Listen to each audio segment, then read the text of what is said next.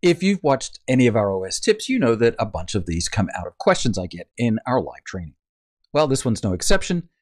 Can I get the name of a taxonomy term in the title of a contextual block? Now, if that doesn't make any sense, watch on. It will. And the answer, of course, is well, yes.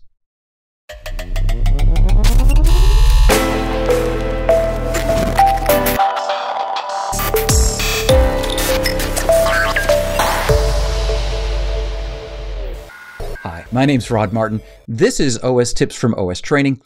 And in this week's episode, we are covering the topic of a contextual view, which is when I'm looking at a node with a particular taxonomy term, like a blog post that has a category or a business that has a category, show me all the other businesses or news items that are in the same category. That's a contextual view. It's a pretty simple one. We do it in our training.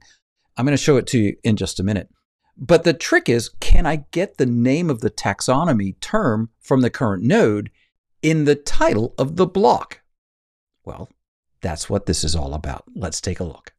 I'm over here at my personal blog, and you're looking at a blog post about Drupal as a URL shortening service. This is an OS tip I did a little while ago. We also have a class on it at OS Training. Well, this is filed under Drupal. That's a taxonomy term for the category of this blog post. These are all the other blog posts that have been tagged with the word Drupal at least 10 at a time. So this is what's called a contextual view. And if you've never done one, again, just attend one of our trainings and you'll find out how to do it.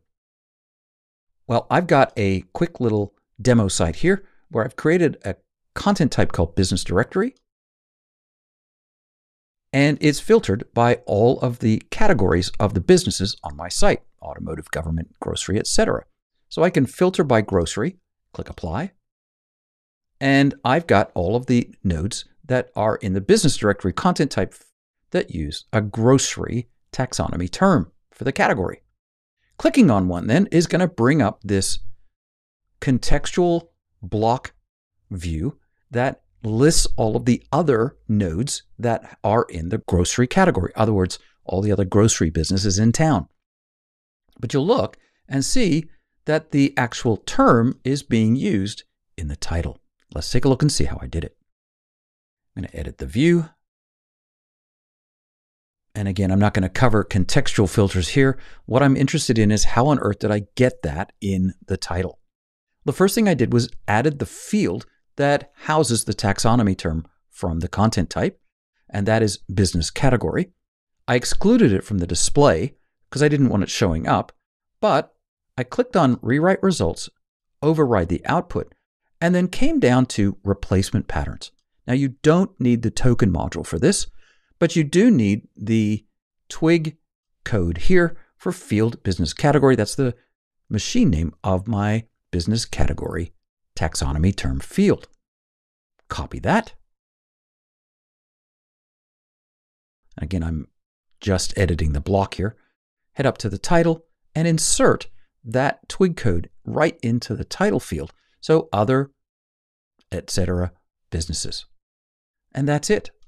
Now, when I am on any business in my site, I'm seeing the term right there in the title. But if I go back over just to prove the point and go to the automotive category, other automotive businesses are listed there for me. That's a pretty cool little tip. What it does is it adds a level of customization that your site visitors will really appreciate. Uh, they may not even notice it, to be honest, but it's something subconsciously that's going to help them find other content on your site. And it's one little enhancement that can actually make a pretty big difference. Well, thanks for joining me today. This has been OS Tips from OS Training. My name is Rod Martin. Hey, would you like, subscribe? If you've got any suggestions, any improvements, hey, throw them in a comment below. We'd sure appreciate it. We'll see you next time.